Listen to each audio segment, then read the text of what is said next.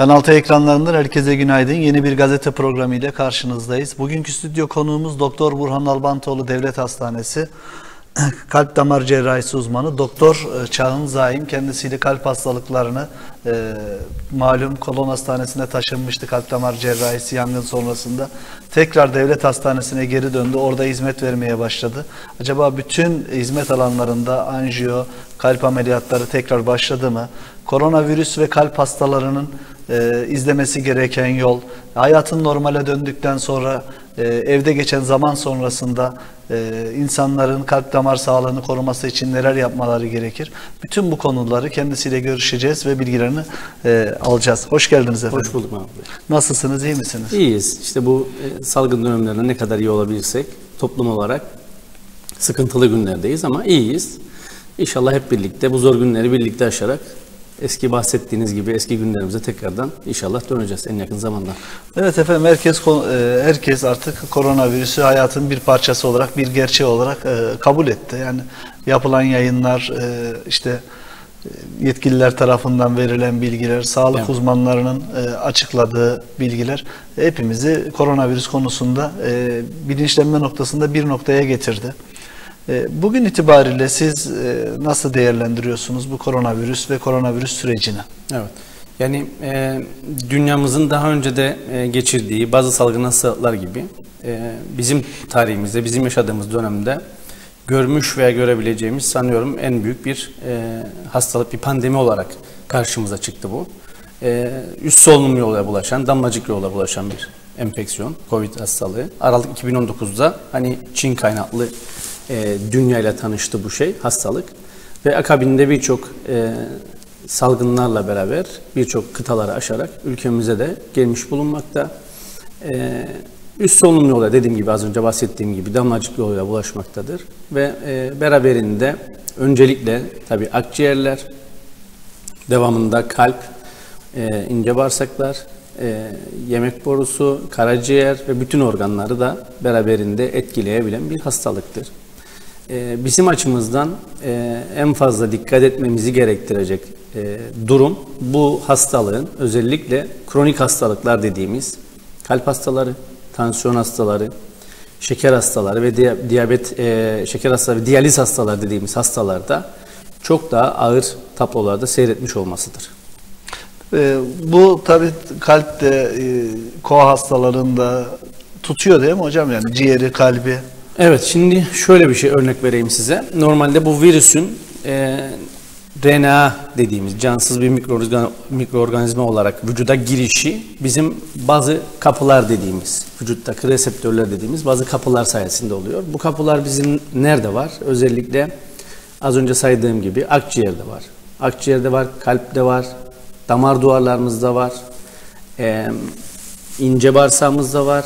Nitekim e, vücut direncinin düşkün olduğu hastalar veya kronik hastalarımızda bu kapılar vasıtasıyla, bu reseptörler vasıtasıyla bu virüs girdiği zaman akciğerle ilgili e, geçiş yaptığı zaman akciğerlerde ciddi anlamda harabiyet vererek oksijen değerlerini düşürüyor, nefes darlığına sebep oluyor. Akabinde kalbe geçtiği zaman kalpte e, bir nevi kalp krizi gibi ya da kalp kasını tutan miyokardit dediğimiz çok ciddi anlamda kalple e, kalp yetmezliği bulguları veya kalpte bir hasar verici tabloya geliştiriyor. Damarlara geçtiğinizde yine aynı şekilde çok yüksek derecelere çıkabilecek tansiyonlara sebebiyet verebiliyor. İnce bağırsağa geçtiğimizde yine aynı reseptörlerden, aynı kapıdan girerek bu sefer ishallere sebep olabiliyor. Karaciğere geçtiğinde e, ciddi organ hasarlarına sebebiyet veriyor geneline baktığımızda işte zaten olay belli bir e, klinik tablo ilerledikten sonra da akciğerdeki oksijen değerleri düşmeye başlayınca artık bütün organlarımız tamamıyla etkileniyor. Evet hocam, e, isterseniz o kalp kısmına birazdan geçelim ama önce malum yangın sonrası hastanemiz e, kalp damar cerrahisi bir başka hastaneye evet. Taşınmıştı. Herhalde geri dönüş başladı. Geçtiğimiz günlerde basında da paylaşıldı. Evet, evet Mahmut Geçen hafta itibariyle e, yavaş yavaş tekrardan e, dönüş başladı. E, o kötü günler inşallah yavaş yavaş e, geride kalacak. E, yangın olması bizi çok etkiledi. Çünkü açık kalp ameliyatlarının e, ülkemizdeki yaygınlığı malum. E, bizim servisimizde, kalp damar cerrahisi servisi de anjiyo ünitesiyle birlikte çok kompakt bir ünite olarak e, yıllardır hizmet vermekteyiz Kıbrıs halkına. Bu bölgedeki bir yangının tam e, kalp damar cerrahisiyle kardiyolojinin anjiyo ünitesini içine alan bir yangının e, Kıbrıs halkında kalp sağlığıyla ilgili ciddi anlamda sorunlar yarattı. Bu ameliyatlar az önce bahsettiğiniz gibi başka hastaneye taşınmıştık. Orada e, tabii ki e, o dönemki e, performansımızda olamadık. Yani haftalık vaka sayımızı çok ciddi anlamda düşürmek zorunda kaldık. E, acil ameliyatları alabilecek düzeye geldik ama yine de tabii ki birçok hastamıza yine hizmetimizi verebildik. E, bu süreç bitti şu anda. Hafta başı itibariyle yavaş yavaş tüm branşlar yani kalp damar cerrahisi, kardiyoloji, e, dahiliye, genel cerrahi tüm branşlar artık tekrardan Nalbantoğlu'na kademe kademe dönmüş bulunmaktayız. E, bizim yanan servisimizde şu anda e, hizmet yok. E, tadilat aşamaları evet. devam ediyor halen daha. Devam ediyor. Biz e, kadın doğum servisiyle birlikte e, hastalarımıza hiz, hizmet vermeye başladık. İnşallah önümüzdeki dönemlerde daha da randımanlı olarak Nalbantoğlu'nda e, bu yanığın etkisinden de kurtularak eski günlerimize yavaş yavaş toparlanıp inşallah döneceğiz. Oradan fotoğraflar geliyor. Herhalde son aşamaya doğru yaklaştı mı? Yani servis kısmı hariç yani bizim normalde yatılı hastaların evet. olduğu kısım hariç çoğu yer yavaş yavaş aktif olmaya başladı. Ee, Örneğin yanan anjiyo ünitesinden bir tanesi komple yanmıştı anjiyo evet. cihazı. Onunla ilgili sanıyorum e, bakanlıkta çalışmalar devam ediyor. E, ikinci anjiyomuz, sonradan alınan ikinci anjiyomuz e, büyük bir hasar yok diye e, alıyoruz bilgilerini. Sonuçta teknik hı hı. ekip e, gelip değerlendirecek, değerlendirdi. Daha da net bilgiler çıkacaktır. Önceki haftaya sanırım anjiyo cihazımız çalışmaya başlayacak. E, bu da akabinde bizim e, başka hastanelerle olan e, bağlantımızı veya bağımızı veya ihtiyaçlarımızı minimuma indirecektir. E, hastalarımıza anjiyo yaptığımız sürece orada devamında e, akabinde ameliyatlarımızı da yapar düzeye gelecek diye düşünüyorum. Peki anjiyo ya da e, şu an e, ona benzer kalp ameliyatları falan yapabiliyor muyuz hastanede? O noktada mıyız? E, Az önce dediğim gibi e, bizim aslında yangından KVC'nin, kalp damar cerrahisinin yoğun bakımımız ve ameliyathanemiz zarar görmedi. Yatan evet. hasta kısmımız zarar görmüştü. E, anjiyon devreye girmesiyle birlikte e, önümüzdeki hafta yavaş yavaş bence ameliyatlara başlarız. Evet. E, peki şu an hasta kabul ediyorsunuz o zaman değil mi hocam? Evet. Yatan Muayene. hastalarımız var. Yatan hastalarımız var. Mevcut diğer hastaneden tedavisi süren e, tekrardan yatış endikasyonu olan, yatış durumu olan yani e, acil koşullar çerçevesinde ameliyatını gerektirecek hastalarımız şu anda yatıyor şeyde Nalbantoğlu Hastanesi'nde. E, ilerleyen günlerde de e, enfeksiyon komitemizin uygun gördüğü koşullarda belli hasta sayılarıyla birlikte poliklinik hizmetimiz de devreye girecektir diye düşünüyorum. Onu tabi e, halkımızın tabi beklediği noktalardan bir tanesi de budur tahminimce. Ne zaman poliklinik hizmeti devreye girecektir. Ee, bunları dediğimiz gibi enfeksiyon komitemiz e, başhekimlikle birlikte, Sağlık Bakanlıkla birlikte yürüttükleri protokol çerçevesinde, bilgiler çerçevesinde mutlaka halkımıza duyuracaklardır. Ee, ve evet. polikliniklerimiz hizmete girecektir. E, belli bir tarih bekliyor musunuz? Sizin bir öngörünüz var mı?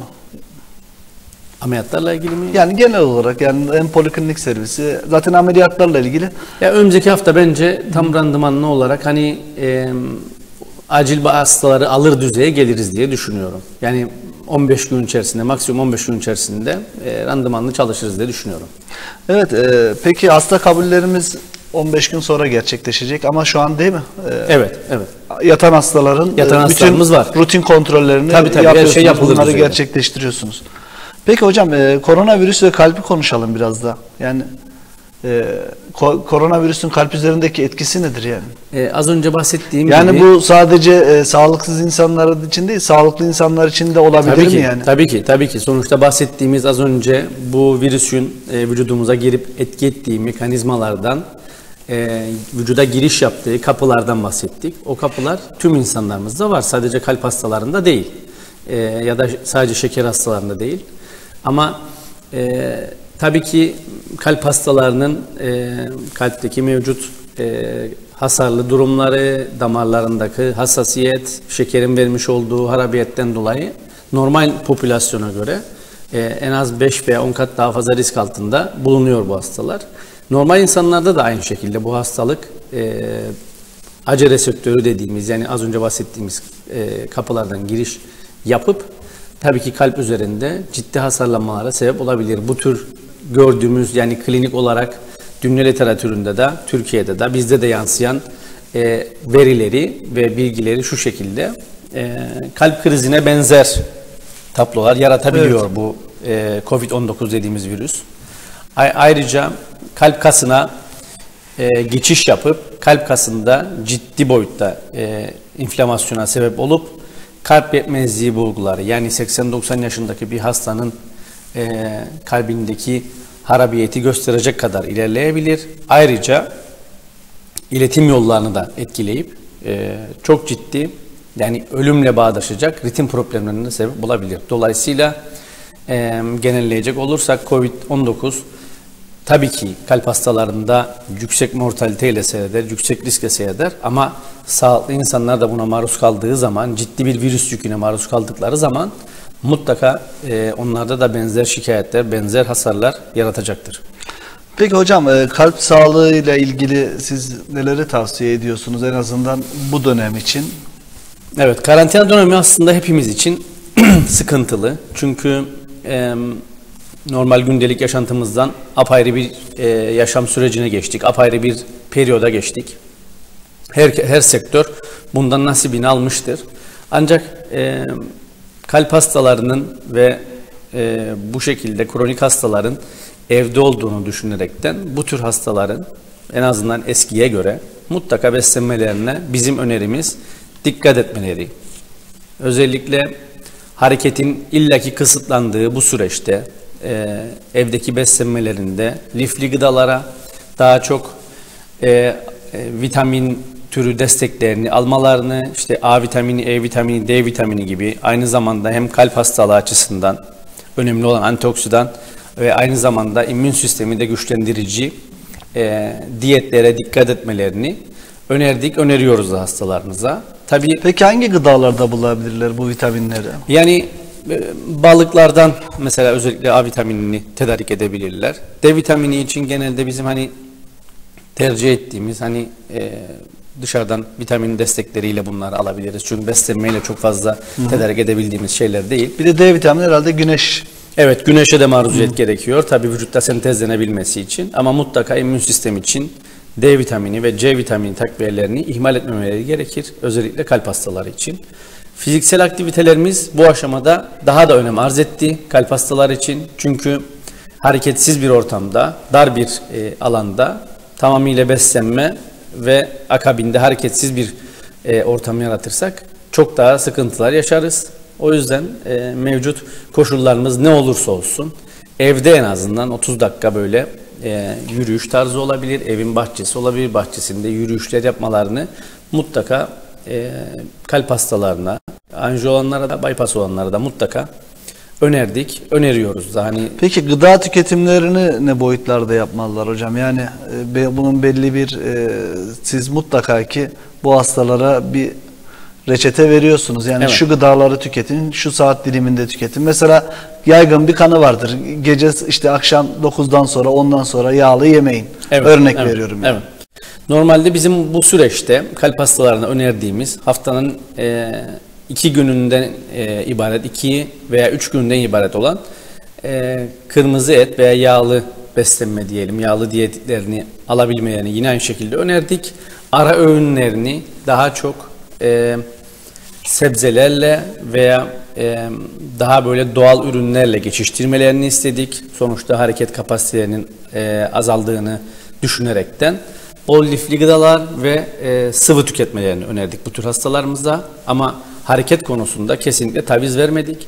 Diğer bir nokta da hastaların beslenme sırasında e, bizim rutinde bypass'tan ve e, koroner kalp hastalığı sonrasında önerdiğimiz kolesterol haplarımız var. Evet. Bunların da mutlaka alınmalarını önerdik. Çünkü bu COVID-19'un e, etki ettiği patogenezde özellikle tromboza eğilim dediğimiz yani pıhtılaşmaya, kanın pıhtılaşmaya eğilimini de arttırdığını bildiğimiz için bu ilaçların e, önemini hastalara daha da e, arttırdık. Evet hocam, e, şimdi insanlar şu an evlerde malum sokağa çıkma yasağı var. Kısmi evet. sokağa çıkma yasağı var. E, haliyle restoranlar kapalı, iş yerleri kapalı. Biraz daha evde üretilen yemekleri evet. işte işte poğaçadır, börektir o tarz e, gıdaları tüketiyorlar. Ama tabii bu işin e, yakın zamanda İnşallah. E, tekrar e, Dışarı restoranların açılması, normal e, hayata kademeli geçişin söz konusu olması bekleniyor. E, uzun da bir süre geçti yani bu gıdaları tüketmeyeli. E, yeniden tekrar eskiye döndüğümüzde nasıl olacak? Yani e, siz vücuda alıştırıyorsunuz belli bir e, düzene şu an ama tekrar o işte bol e, etli, proteinli gıdalara döndüğümüz zaman nasıl olacak? Allah az önce söylediğimiz gibi Mahmut Bey sonuçta e, tekrardan o günleri e, umarım en yakın zamanda evet. görürüz. E, bu et türü beslenmeye tekrardan geçişimiz olsa bile bu sefer elimizde diğer kozlarımız da ortaya çıkacaktır. Fiziksel aktivite olsun, dışarıda yürüyebilme olsun, düzenli sporunu yapabilme olsun, yürüyüş bandı olsun veya dışarıda yürüyüşler olsun, 40 dakika 45 dakika olsun.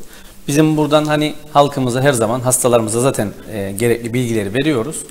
Oraları açılsa bile mutlaka e, ölçülü bir şekilde e, gerek kalp hastalarına önerdiğimiz beslenmelere dikkat ederek gerekse kendi sağlıkları içinde mutlaka e, belli sınırlarda kalarak bunlara dikkat ederek beslenmeye dikkat etmeleri, fiziksel aktiviteyi herkes için özellikle 40 yaş üzeri herkes için önerdiğimiz gibi o dönemde de insanlarımıza yine gerekli bilinçlenme olması açısından mutlaka önereceğiz. Yine önerdik, yine önereceğiz. Ee, ne kadar da beslensek, etle de beslensek, işte lifli gıda da tüketsek hayatımızın içerisinde mutlaka fiziksel aktiviteyi bir şekilde yerleştirmemiz gerektiği daha da önem kazanacaktır diye düşünüyorum. Peki hocam e, biraz isterseniz kalp sağlığıyla artık devam edelim. E, malum dünyada herhalde en çok ölüm kalpten evet, gerçekleşiyor değil mi? Kalp evet, hastalıklarından evet, gerçekleşiyor. Ee, peki bundaki ana temel nedir? Yani bunun altında yatan bir mutlaka bir gerçek var ki bu kalp hastalıklarını e, tetikliyor. Evet. Şimdi e, az önceki verdiğimiz örnekten yola çıkarak e, kalp hastalıklarında bazı birkaç temel risk faktörlerimiz var. Bunlardan bir tanesi e, yaşla birlikte bu damar sertliği dediğimiz tablo oluşuyor. Damarda bu bizim beslenmeyle birlikte, beslenmemizle birlikte kolesterol plakları e, damar tıkanıklığına sebep olup bu hastalığı başlatabiliyor. İkinci sebep yüksek tansiyon. Yüksek tansiyonun bugünkü verilerde %90 sebebi halen daha bilinmemekte. %10'luk kısmını biz daha çözebilmiş durumdayız. Tansiyon, diğer bir risk faktörümüz şeker, e, genetik unsurlar ve beraberinde mutlaka hareketsizlik. Biz hani ülkemizi ele alacak olursak ülkemizdeki verilerde de nitekim evet. dünyada olduğu gibi kalp hastalıkları ciddi e, sayılarda ön planda. Neden? Çünkü beslenmemiz az önce örnek verdik. Hı. Beslenmemiz e, birazcık et yönünde kaymış durumda.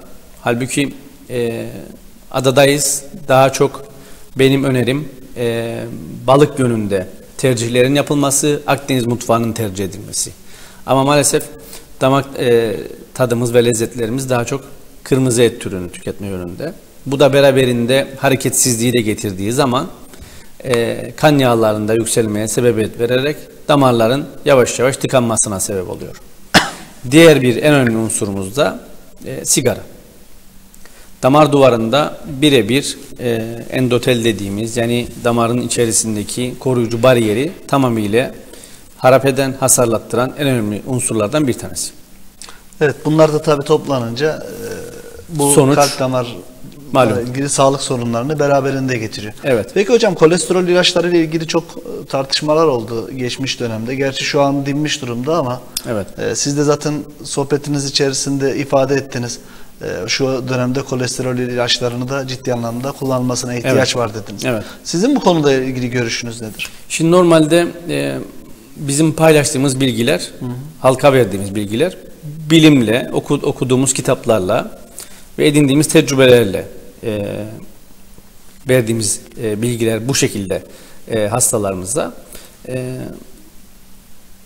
Bu kolesterol haplarını biz e, hastalarımıza tabii ki ben hastalarıma genelde şu şekilde izah ediyorum. Normalde iyi beslenmeyle, düzenli bir spor aktivitesiyle tabii ki kolesterol değerlerimiz belli bir seviyeye düşüyor. Ancak yüksek risk grubunda olanlar, özellikle ailesel kolesterol hikayesi olanlar, bypass olanlar, bu tür insanlarda da, bu tür hastalarda da genelde ilk etapta önerdiğimiz şeyler fiziksel aktivitelerini arttırıp bir şekilde kolesterol seviyelerini düşürmeleri. Ancak düşmediği takdirde bunun e, kaçınılmaz sonu mutlaka bu ilacı kullanmaları gerektiği. Az önce söylediğim gibi biz bilimle hareket ettiğimiz için, bilimle insanlarımıza bilgi verdiğimiz için nitekim ayrıca bu damarları da biz ameliyat sırasında görebildiğimiz için bu kolesterol platlarının mutlaka sporla da olsa, ilaçla da olsa mutlaka belli bir seviyenin altına düşürmemiz gerektirdiği. Okuduğumuz veya gördüğümüz güncel bilimsel e, makalelerde de okuduğumuz kitaplarda da edindiğimiz bilgilerde de bu ilaçların en azından şu anki bilgilere e, nazaran mutlaka kullanılması gerektiği. Peki hocam bu kolesterol dediğimiz nedir? Kandaki yağ oranı. Kandaki yağ oranımızın e, bizi ilgilendiren kısmı damar duvarında birikmesi. Evet. Bu damar duvarında biriktikçe e, bir boru gibi düşünün damarı. Kolesterol e, plakları biriktikçe katman katman damarın daralmasına sebep oluyor. Tıkanmasına Tıkanmasına sebep oluyor. Daralttıkça da belli bir saatten sonra bu plaklar tamamıyla kopup damarı tıkayıp bizim kalp krizi geçirmemize sebebiyet veriyor. Siz bu noktada hangi tedavi yöntemini kullanıyorsunuz? Anjiyo dediğimiz yöntem bunun için mi ge- gerekli oluyor? Şu, evet, bu damarlardaki görüntüyü yani e, tıkanıklığın seviyesini görmemiz için e, kardiyolojideki arkadaşlarımız, kardiyolog arkadaşlarımız bu tür hastaları önce fizik muayenesini yaparlar. Ondan sonra lüzum halinde hastalara anjiyo yaparlar. Peki hangi testlerden geçiriyorsunuz önce bunu şey yapmak için? Yani efor gibi, Tabii, tabii. EKG gibi. Az önce söylediğim gibi kardiyolojideki arkadaşlarımız hastalar mesela göğüs ağrısıyla göğüs ağrısı şikayetleri geldiği zaman önce rutin tetkikleri yapılır. Kalp şeritleri çekilir. Ekosu dediğimiz kalbin ultrasonu yapılır. Ultrasondan sonra lüzum görülürse efor testi yapılır. Efor testinin e, güvenliği %60-70 civarıdır. Pozitif e, olarak yakalıyor hastaları. Efor testinde şüpheli bir durum görülürse bu tür hastalar anjiyo yapılır kardiyologlar tarafından. Bu yapıldıktan sonra iki seçenek çıkar ortaya. Bunlardan bir tanesi e, lezyon vardır, stent takılır kardiyologlar tarafından e, tekrarında. Lezyon çok ciddidir veya 3 veya 4 damarda tıkanıklık vardır. O zaman hastaya cerrahi önerilir. O zaman biz devreye gireriz. Hastayla biz tanışırız. O zaman e, kalbi de ikiye ayırıyoruz. Bir kardiyologlar, doğru mu? Doğru. Bir de cerrahi müdahale Evet, yapanlar. evet. Yani e, ilk önce e, siz bunu ilaçla ya da e, Anjiyo yöntemiyle, stent yöntemiyle kardiyologlar e, tedavi ediyor, tedavi planlıyor. Eğer sonuç başarılı olmazsa bu sefer Olmazsa veya çok damar hastasıysa Evet. belli bir risk faktörlerimiz var, belli skorlama yöntemlerimiz var. O skorlama yöntemlerinde eğer hasta bunları karşılıyorsa hastanın hakkı cerrahidir. Yani açık kalp ameliyatı geçirmesi gerekir. Peki anjiyodan korkmalı mıyız hocam ilk etapta onu soralım. Yani korkan da çok insan var. Korkan çok ama e, şöyle söyleyeyim. E, mevcut e, şu anki kardiyoloji ekibimizde, kalp damar cerrahisi ekibimizde e, çoğunluğu Türkiye'den almış oldukları eğitimlerle çok iyi düzeydeyiz. Ben de hani birçok merkezde çalıştım Türkiye'de. Şu anki kardiyoloji ekibimiz birçok şeyin üstesinden e, gelebilecek vasıfta birçok arkadaşımızı barındırmıştır bünyesinde. E, her biri ayrı e, niteliklerde, vasıflarda birçok özellikleri vardır. Ve e, bu arkadaşlarımızla birlikte çalışarak e, Kıbrıs'ın mevcut e, kalp hastalarıyla ilgili problemlerin neredeyse %95'ine yakınını çözebilecek durumdayız. Yani aday üstünde de iki tane kalp nakli gerçekleştirdiniz. Evet, Yani kalp nakillerimiz de var tabii ki. e, Tabii ki. hastanemiz adına da büyük bir gurur. Kesinlikle. E, o hastalarımızın sağlık durumu nasıl hocam? İyidir. Hastalarımız kontrollerine geliyorlar. Ee, aralıklı sürekli kullandığı ilaçlar oluyor malum e, kalp nakili hastalarının. Aralıklı gelip kontrollerini yaptırıyorlar. Şu an için onların da sağlık durumları iyi. Biz de onlara geçmiş olsun dileklerimizi iletelim. Hocam bu anjiyo nedir? Biraz daha bize bahseder misiniz? Nasıl bir tedavi ediyorsunuz? Yani e, koldan mı? E, herhalde muhtemelen bilek. Koldan da olur, kasık bölgesinden Evet. de olur. Anjiyo nedir? Anjiyo e, atar damarlar vasıtasıyla, kasık bölgesindeki atar damarlar veya koldaki atar damarlar vasıtasıyla kalbin içerisine bir takım e, tellerle veya çok ince e, borularla diyeyim artık kateterlerle girip o damarların görüntüleme yöntemidir. E, radyasyon da verilerek yapılır e, ve kalpteki damarların e, en net değerlendirilebildiği, en güvenilir yöntem halen daha günümüzde kullanılan yöntem anjiyodur. Peki e, hasta anjiyo olduktan sonra kaç gün sürüyor tedavi yöntemi? Yani şey günü? Herhangi bir sonra? problem çıkmazsa Mahmut Bey normalde e, kalp anjiyosu yapıldıktan sonra kasık bölgesinden olursa her şey yolunda gitti bir problem çıkmazsa bir gün hastanede takip edilir ertesi günü taburcu olabilir. Daha kötü senaryoda daha kötü dediğim yani damarlar tıkalıysa hasta anjiyosu ne olur? E, istirahatını tedavisi başlanır ameliyat gerekirse de ona göre kardiyolojiden Size sevk eder. Kalp damar cerrahisine sevki olur. Aynı zamanda anjiyoyu biz kalp damar cerrahları da e, sadece kalbi görüntülemek için değil, şah damarlarını görüntülemek için yapabiliriz. E, bacaktaki anjiyoları, bacaktaki damarları görüntülemek için yapabiliriz. Koldaki damarları görüntülemek için yapabiliriz. Yani birçok amaçla kullanılabilmektedir şey. Bu anjiyo. anjiyo dediğimiz o zaman e, damarların görüntülenmesi. Evet, damarların görüntülenmesi. Yani varsa orada bir sıkıntı önce stent ya da başka Tabii bir ki. ilaçla Tabii ki. tedavi ediyorsunuz. Eğer yoksa da belli malzemeler mesela e, aort anevrizması dediğimiz hastalarımızı da aynı e, cihazda tedavilerini planlıyoruz. Karın bölgesinde aort anevrizması işte aort damarı patladı veya bu şekilde e, halk, halk arasında bilinen damarı patladı, aortu yırtıldı. Bu tür müdahalelerin de e, kalp damar cerrahisi tarafından anjiyo ünitesinde hepsini yapabiliyoruz. Yani bunlar da artık açık ameliyattan e, anjiyo yöntemiyle kapalı yöntemlere geçmiş durumda. peki bu aort yırtılması nedir hocam? Yani neden gerçekleşir? Neden gerçekleşir? Aort yırtılması e, kalbin e, aort nedir önce onu söyleyelim. Tabii. Aort kalbin e, önünden çıkan ve bütün vücudumuza kanı götüren en önemli damarımızdır. Ana damarımızdır. Dolayısıyla e, aort damarı e, beraberinde vücutta seyrederken tüm iç organlarımıza, beynimize, kolumuza, iç organlarımıza, bacaklarımıza temiz kanı götüren, kalp, kalbin solundan çıktığı için temiz kanı götüren ana damarımızdır. Burada e, bizim hastalarımızda gözlemlediğimiz yüksek tansiyonun tetiklediği, yani özellikle hastanın yüksek tansiyonu varsa ve uzun süreli bir yüksek tansiyona maruziyet kalırsa aort damarında e, yırtılma dediğimiz yani üç katmandan oluşur aort duvarı. Bunun katmanları arasında bir yırtılma, bir sıyrılmaya sebebiyet verebilir. Tabi genetik faktörler e, işin içerisine de girebilir ama bizim esasda gördüğümüz bir yüksek tansiyon hastaları, şeker hastaları ve e, aynı zamanda e, diyabet hastalarında mutlaka e, bu yırtılmanın gerçekleşebileceği. Yani hasta tansiyon hastasıdır ama ilaçlarını düzgün kullanmıyordur. Bu çok önemli bir nokta. Ben hapımı içiyorum diyor hasta mesela. Peki diyorum e, ölçüyor musunuz tansiyonlarınızı? Ölçen yok. Sadece içiyor. Yani kontrol altında mı? Acaba düşmüş mü? Bununla ilgili de mutlaka yani hastalarımız bize mutlaka geri dönüş yapmaları lazım. Evet. Hapımı içiyorum tamam. Öyle bir şey yok. Tansiyonu içtiğiniz, tans- tansiyon ilacını içtiğiniz zaman mutlaka belli bir seviyenin altına düşmesi lazım. Ki olası bir durumdan, olası bu tür komplikasyonlardan uzak durabilelim. Peki e, sağlıklı bir insanın tansiyon ölçüleri nedir hocam? 13'e 8 derler ama doğru. İdealimiz bizim hani literatür ve bilgilerimiz 12-8 civarı en e, ideal kabul ettiğimiz seviye bu. Ona yönelik tüm hastalarımızda hedeflenen düzeyde bu seviyelerde olmalı.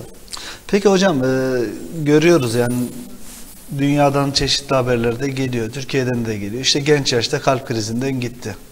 Evet. E, bu neden gerçekleşiyor? Yani bu futbolcularda dahi oldu. Evet. Yani o kadar sağlık kontrollerine, testlere girmelerine rağmen e, hayatını sahanın ortasında kaybeden futbolcular da oldu. Evet. Şimdi hani e, futbolculardan yola çıkacak olursak bazı spor aktiviteleri düzgün koşullarda yapılıp e, yeterli kontroller yapılmazsa kalpte büyümelere sebep olabilir. Bu e, sporun getirdiği fizyolojik yani normal sınırlarda bir şeydir. Ancak bazı kişilerde özellikle Güney Afrika kökenli olanlarda olabilir. Bazı iletim yani kalbin kendisinden kaynaklanan iletim problemleri olabilir. Ve aşırı yüklenmelerde bu iletim problemleri, e, problemleri kalbin e, ani durmasına sebebiyet verebilir. Daha genç yaşlara geldiğimizde ise futbolcu haricindeki güncel hayata geldiğimizde ise o tür durumlarda ise Hastanın e, az önce saydığımız bu risk faktörlerini sorgulamak gerekir. Yani tabii ki genetik, aileden geçişli bazı e, kalp problemlerimiz olabilir. Bunlar ve e, ciddi sorunlara sebebiyet verip ölümle sonuçlanabilir. Ailesel bu şekilde ölüm gösteren tablolarımız da var. Ama genelleme yapacaksak e, genç yaşta gördüğümüz problemlerin içerisinde en fazla bu bahsettiğimiz beslenme koşullarına dikkat etmeyen, ciddi anlamda sigara içicisi, hipertansiyon veya diyabet gibi risk faktörlerini taşıyan hastaları daha ön planda görüyoruz. Özellikle genç hastalarda.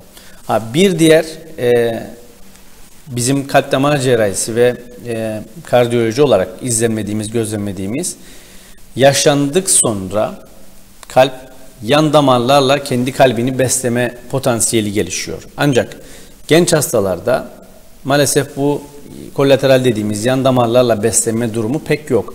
Dolayısıyla ciddi bir e, tıkanıklıkta e, olay çok daha ağır seyredebiliyor genç hastalarda. Alternatif e, damarlarımız olmadığı için.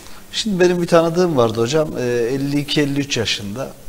Normal sporunu düzenli olarak yapar. e, Yürüyüşünü yapar. Sigara içmez. Evet. E, Ama kalp hastası çıktı. Yani kalp damarında tıkanıklık. Bunu neye bağlıyoruz? Bu tür durumlarda bizim daha çok genetik e, genetik geçişlere, genetik orijinlerde mutlaka araştırma yapmamız lazım. Bazı durumlarda tamam damarlarında hani e, kalpte bir problem yok, e, spor aktivitesini yapar, düzenli yürüyüşlerini yapar. Ancak olayın bir de hücresel boyutu var. Yani kan, damarların içerisinde akan kanımızda da bazı problemler olabilir, genetik problemler olabilir. Orada, orada nedir problemimiz? Mesela pıhtılaşmaya eğilimi daha fazla olursa. Yani biz mesela e, bir 10 saat bir otobüs yolculuğu yaparız. Hiçbir problem olmaz. Bazı insan 10 saat otobüs yolculuğu yapar. Bacağında pıhtı atar. Bunun gibi örnekler. Yani genetik problemi varsa, hastanın pıhtılaşma eğilimi varsa bu bahsettiğimiz damarların içerisinde bu pıhtılaşmalar da hastada kalp krizine sebebiyet verebilir. Peki kalp damar sağlığı için ne kadar sıklıkla kontrol edilmesini öneriyorsunuz? Yani e, günümüzde Kıbrıs koşullarını konuşacak olursak artık e, 40 yaşa indiğini görüyoruz. Gerek kalple ilgili müdahalelerin gerekse ameliyatların. Dolayısıyla en kötü ihtimal 6 ayda bir 40 yaşına yaklaşan herkes için özellikle erkek cinsiyet için mutlaka kontrollerini yaptırmaları gerekir. Bunlar nelerdir? E, kan tah- tahlilleridir, efor testidir. Mutlaka bir kontrolden geçmiş olmaları lazımdır. Bir sürprizle karşılaşmamak için. Evet bir izleyicimiz Enver Kuyucuoğlu Allah doktorları başımızdan eksik etmesin demiş. Teşekkür ederiz. Ee, peki hocam e, maske takma ile ilgili artık programımızın da sonuna geliyoruz. Evet. Çünkü biz birkaç defa bu kalple ilgili haber yaptığımızda da kalp hastalarına maske takılırken gördük. Tabii Evet. bu alanda ilgili bilgiler sizde. Evet. Ee, Bu noktada neler söyleyeceksiniz? Zaten artık koronavirüs sonrası da bugün itibariyle e, maske zorunluluk getirildi. Evet. Şimdi maskeyi e, normalde çift taraflı düşünmek lazım. Çift taraflı derken takan hasta mı, karşıdaki hasta mı? Bu şekilde değerlendirmek gerekiyor. Dışarı çıktığınız bir insanın hasta olduğunu düşünerekten konuşuyorum. Mutlaka maskesi takması lazım. E, hasta bile olmasa mutlaka kendisi için de takması lazım. Çünkü yandaki hasta olabilir, ondan kendisine geçebilir. Bunun diğer bir örneğini şöyle verebilirim size. Ee, Avrupa'da da bu salgın yayıldı biliyoruz artık. Evet. Ee, gündemde herkes her şeyi e, internetten takip ediyor. Belli ülkelerde özellikle mesela e, Çek Cumhuriyeti'nde yine Sırbistan'da bu tür ülkelerde bu rakamlar çok ciddi anlamda düşük tespit edildiği. Mortalite olarak ölümleri. Bunu araştırdıklarında ne görmüşler? Burada da aslında biraz kendi insanımıza da e, bir mesaj vermek istiyorum. E, o ülkelerdeki bu başarının sırrı, yani hasta sayıları bizim e, Türkiye'deki kadar mesela. Sayı fazla ancak ölümleri çok az. Neden? Çünkü ciddi anlamda kişisel olarak bilinçli hareket etmişler ve bu maskeyi çok ciddi anlamda kullanmışlar. Evet. Maske bu kadar önemli. Dolayısıyla e, alınan bugün itibariyle hükümetimizin almış olduğu bu karar kesinlikle doğrudur. Herkes maksimum seviyede bu e, yasa riayet etmesi lazım. E, mutlaka maskelerini kullanmaları lazım. Hasta olmamak için, hasta etmemek için sıkıntımız şu. Aslında adam asemptomatiktir. Yani herhangi bir bulgusu yoktur ama hastadır. Haberi yoktur. Ben iyiyim diyor. Maske takmayayım diyor ben. Maske takmayacağım diyor. Gidiyor marketine ama aslında adamda bir virüs yoğunluğu vardır, bir virüs yükü vardır. Markete giriyor, onu enfekte ediyor, bunu enfekte ediyor. Eczaneye gidiyor, onu enfekte ediyor. Bankaya gidiyor, bunu enfekte ediyor. Aslında maske tam bu bahsettiğim profildeki insanlar içindir. Asemptomatiktir, herhangi bir bulgusu yoktur, ateşi yoktur, hiçbir şey yoktur. Ama virüsü saçtığından haberi de yoktur. Dolayısıyla bu tür insanların mutlaka maske takmaları elzemdir. Evet, e, Ahmet Özşeker günaydın, kolay gelsin. Doktoruma selamlar. Değerli yorumları her zaman saygı duyulacak bir doktorumuz ifadesini Teşekkür kullanmış. ederiz. Artık programımızın da son bir dakikası e, Sayın Hocam. Son Bir ifadelerinizi alın. son Tabii. e, ifade olarak şunu e, Yani sizin de eklemek istediğiniz bir şey varsa evet, buyurun. Güncel konuyla ilgili ben sadece bir not iletmek isterim hastalarımıza e, ve halkımıza diyeyim en azından. E, bu maskelerimizi kullanıyoruz. Eldivenleri kullanıyoruz. Ki eldivenlerle ilgili yapılmış bir çalışma görüyorum insanlarımızı. Araba sürerken, markete giderken eldiven kullanmaya çalışıyorlar. Ama inanın ki eldivenin onlara vermiş olduğu güven aslında yalancı bir güvendir. Ee, eldiveni sadece sağlık çalışanları, hasta bir insana, hasta Covid'li bir hastaya bakan kişiler e, takması uygun görülmüştür. Eldivenleri e, ben taktım güvendiğim gibisinden bir algı oluşturmasınlar kendilerine. Tam tersi kendi elleriyle e, alışverişlerini yapsınlar ama sık sık antidezenfektan olarak e, ellerini 20 saniye sabunlu suyla yıkasınlar. E, alkol bazlı dezenfektanları kullansınlar. Olmadı kolonya kullansınlar. Yani eldivene bu kadar güvenilmesin. O konuyla ilgili bir yanlış anlaşılma var halkımızda. Diğer bir noktada maske ile ilgili. Maskeyi elzem şekilde kullanıyoruz. Doğru bir şekilde atıyoruz. Evet, Çöpe mutlaka doğru bir şekilde atıyoruz. Bir poşetin içerisine atıp o şekilde çöpün içerisine atıyoruz. Sağda solda maalesef görüyoruz şimdi.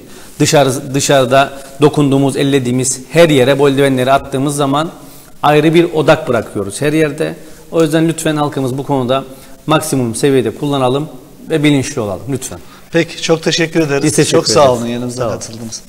Evet gazetenin bu bölümünde Doktor Burhan Albantoğlu Devlet Hastanesi Kalp Damar Cerrahi uzmanı Doktor Çağın Zaim'le birlikte olduk. Şimdi kısa haberleri vereceğiz. Hemen akabinde Başbakanlık Müsteşarı Sayın Suat Yeldener bizlerle olacak.